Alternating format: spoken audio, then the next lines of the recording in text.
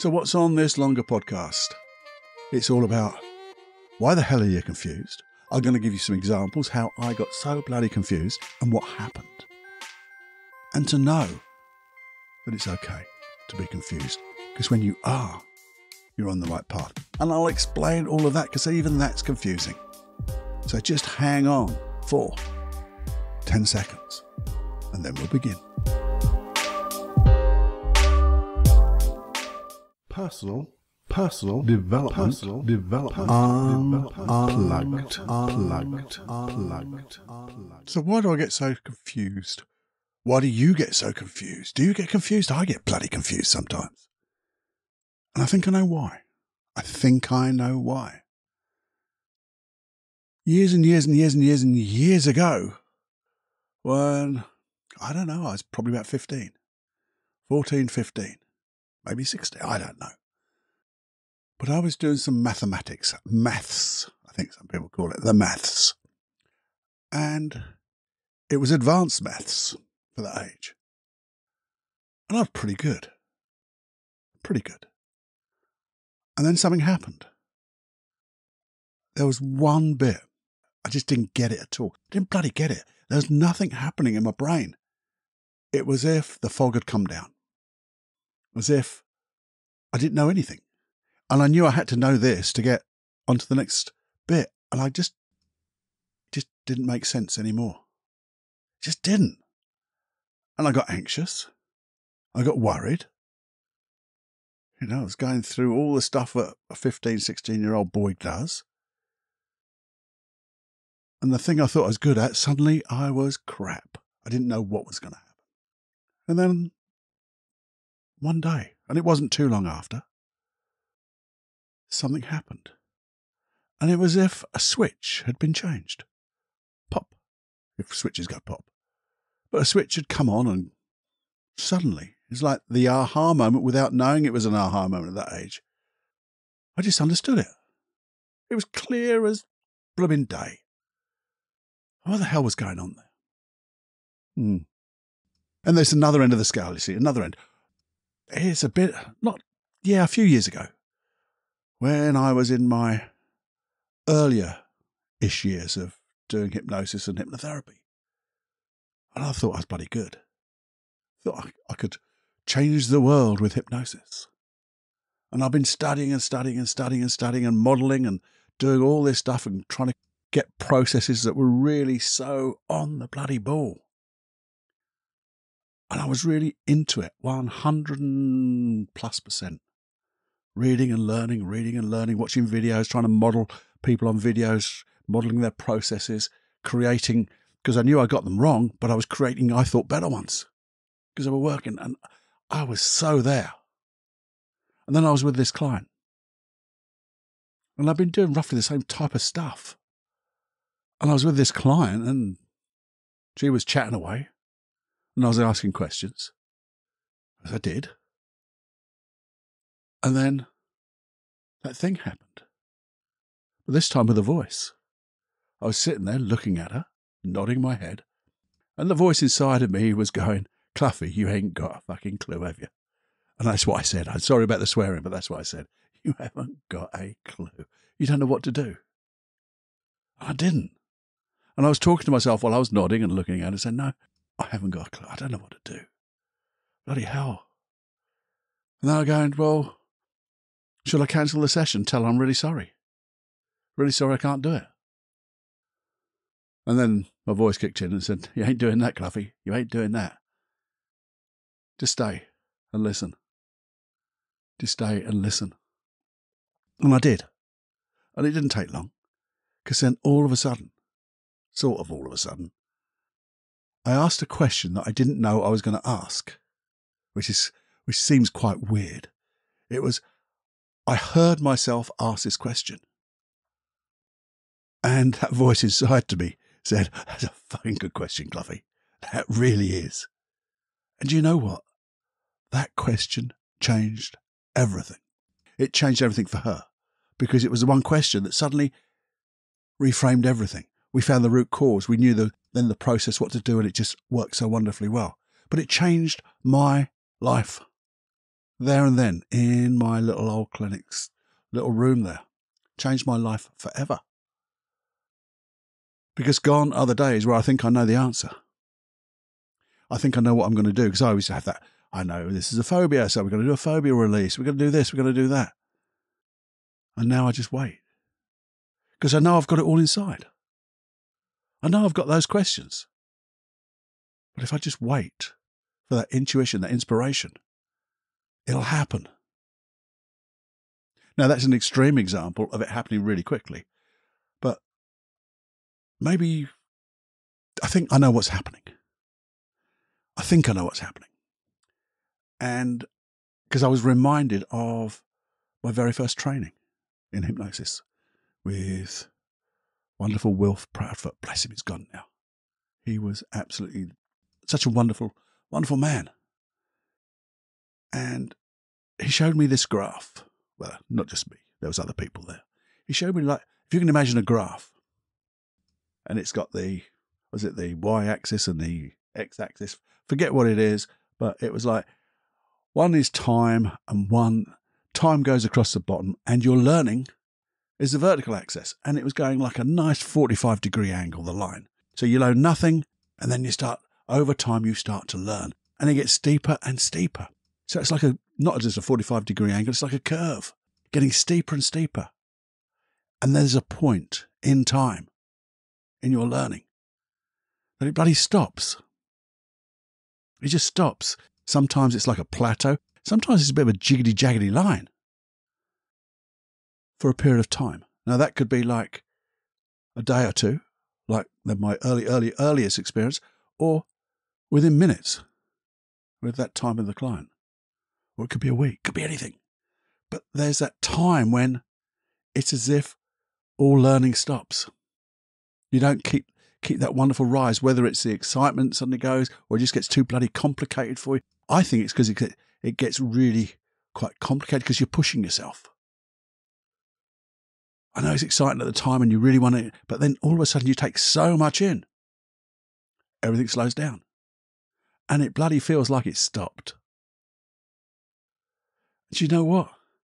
Everything then, in my mind, comes confusing, becomes confusing. It's I'm thinking, well, I don't know bugger all now. And it's weird. Now, here's the thing what Wilf said was at the end of that jiggity jaggedy plateau, one line could go downhill very quickly, very rapidly over time, which means you give up. It's too much. This confusion is too much, and I think I'm a I'm not good enough, I'm not this or whatever. I can't do this. I'm not supposed to be here. People are finding me out. All that's all that rubbishy, bloody limiting beliefs you get, and boom, you just give up. And we've seen things like that with weight loss, haven't we? That's a typical example. You lo- you start to lose weight really quickly, and then it just tends to plateau. And it, sometimes you put on a little bit, and then you take a, but it's not going off at the same rate, and we give up. It's like when we're trying to learn a new skill, just like I say with that hypnosis. It's a new skill. Oh, it's so good, so good. Then it just gets bloody confusing. But you see, instead of that line that goes down and we give up, there's another line that starts another steep project, project, I can't say the word, goes off at a big angle, at an upright angle, and you start to learn again at a rapid state rate of knots, state of knots, rate of knots. And then at the end of that, there's another little plateau. And maybe a jiggity jaggedy, jiggity jaggedy, and it gets all confusing again. You see, what I think was happening is sometimes it's like an aha moment at the end of the jiggity jaggedy plateau and allows us to learn. But I think it's like our unconscious mind is saying, hang on a minute, we've got a lot of, lot of, I keep swearing, a lot of information. And we need to make sense of it. We really do. We need to make sense of it. So we just, let's just slow down. Let's take a breath. Let's just put things in order. I used to think about it like a computer when they used to see that little picture of a defrag. I don't know if you've ever seen that. If you're as old as I am, you used to see a defrag and all the little bits just kept dropping order like a, uh, like one of those things you see on I don't even know what the game is because I don't play games, but they things just suddenly were out of order and they start to fit again. And as they begin to fit again, it's as if, aha, Oh, that's what it is. Oh, I got it. So I think it's your unconscious mind really sorting things out for you. And if you know that, you go, okay, okay, it's a bit confusing. This is, I'm going to sit here. I'm just going to just maybe think about it a bit, not a lot. But I think instead of thinking about the confusing bit, just think about the things that you have learned. Because I think if you just sit quietly, maybe just review and write it down in your own words. That's a, that's the thing that's going around at the moment. If you write what you know in your own words again, you get it again. So that helps to jiggly jaggly all the bits together. Or just go for a ruddy walk. Just go do some do some exercise, do some reading of something completely different. Just do something so you to allow your unconscious mind to put the things together, which are all there. You've got all the information, just not in the right sequence, not syntax, order, and sequence. I think that's the right, right definition of syntax. The order and sequence. Or is that the same thing? Who knows? I don't care. But when you do that, I know you'll suddenly get it. You will. Maybe you just go to meditate. Maybe just have bloody fun. Do something completely different. Exercise is really great though. And all you have to do is keep returning every now and again, saying to yourself in that David Goggins way, and without the swear words this time, I got this. You got this. I got this. I know all will become clear. And I want it to be like when that aha comes. What will I start to learn even more? Can you see these wonderful positive questions and statements? And if you go for a walk, you're getting fresh air, you're seeing the beauty of the world, you're getting a little bit of exercise. If you meditate, your mind is just defocusing. If you exercise, you're getting your muscles to go and letting your brain muscle have a little rest. Just because you've been working it hard like a muscle in the gym. If you really go for some real pump, it bloody aches and it's not very mobile for a couple of days. And you let it rest, you rest yourself. So, here's the thing this thing about confusion is it's not you. It's not you at all. It just happens. It happens naturally. It's a natural occurring phenomenon, if that's right. So don't worry about it. Go. In fact, you should celebrate the bloody thing. Celebrate being confused, which is a bit counterintuitive, I guess. So instead of saying, Why am I confused? Oh, oh, oh, you go, Oh, great. I'm about to learn even more. I'm about to get that aha moment. All I've got to do is get out my own bloody way. I need to get out my own bloody way and stay with it. Because I know I'm on the right path now. I know it will only take a small time. It will come to me. I've got this. And you know you're on the right path. So, as I say, you know, you can do whatever you like, completely different. And you'll notice there are so many different things you could do. Maybe listen to a hypnosis track. Where do you get them from, Cloughie? I'm going to tell you. You know. Well, maybe you don't know because you could be new here. Hopefully, I haven't shocked you with a little F bomb now and again. All you do is go to paulcloughonline.com forward slash podcast. That's Paul online, all one word, dot com.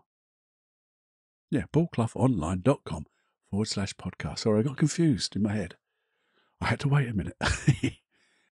and you'll click on there, you'll get a lovely email from me saying, hey, here's your link. And there you go. You click on that. You pick on six, one of 65 processes there. So you find something to think of something completely different. While your best mate, your best friend, is doing the work for you. Now that's awesome, isn't it? And guess what? You might even get the most irregular newsletter than you've ever had before. It doesn't. I, I'm amazed how many newsletters I get, all random from everybody else, as if you're flooded sometimes but you'll get one or two. Sometimes I do it in audio, sometimes I do it in video, sometimes I do it just in writing. And not very long, but it gives you an idea where we are. It gives you some way of contact me, contacting me rather, if you want to. If you get confused and you'd like some help, But if you think about it, if you know that things are gonna, gonna, are going to become clear shortly, it's now okay, isn't it? It is okay. And all you have to do is wait and do something pleasurable, something different. And just make a time to come back and check in. Do that review, like I said. I'm reviewing the review now. And sometimes it's good to have that review just to know how far you've come. Because sometimes we, we forget that with that rapid rate of learning. We get so involved that we forget how much we've learned, how much we're asking our little old muscle in our head to comprehend, to put in order. You even draw the little graph and go, this is where I am. And there's another big spurt coming, yeah, big spurt coming on, big spurt of learning, that is. And what fun can you have? Knowing that you're on the right path. You know, and it's stretching, isn't it? It's stretching yourself. Sometimes stretching, well, doesn't hurt, but it can be a little bit painful, can't it? Because you're really just stretching muscles, you're stretching yourself, you're putting yourself out there. It's all credit to you. So if you're confused, I applaud you.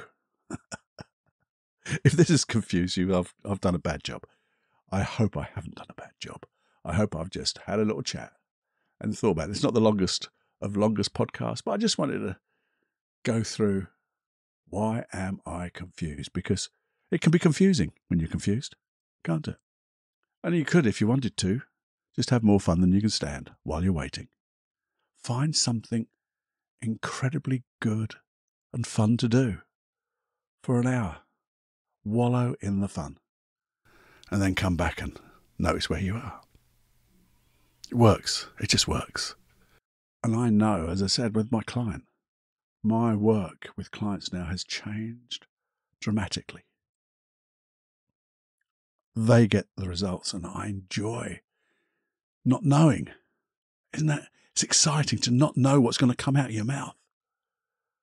And the questions that come, ah, where did that come from? And that's the answer. And the client goes, wow, that is the answer. Reframing just comes without thinking. When you have to think about bloody things, it's hard. We don't want to do things hard. We want to have good stuff, which is hard. anyway, enjoy. Have a good think. Let me know. And please share this because there's so many other buggers out there who are bloody confused. And they need a little bit of, symp- not sympathy, a little bit of compassion, a little bit of help. So do share this episode if you would please. And know, not know, no, but K N O W know, that if you accidentally share this to everybody, that would be an accident. Might confuse them. And if you accidentally press that subscribe, follow button, whatever you've got on your little listening machine, that would be really helpful. That would be a helpful accident because it would just help this show get to it's a show, is it?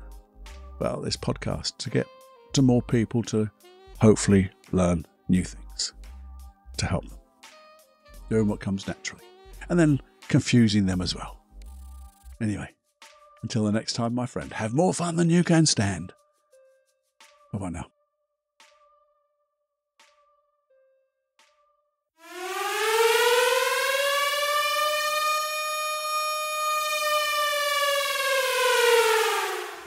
Warning, you are now leaving the unplugged mind of Paul Clough. It's time to fly on your own. Be brave, my friend.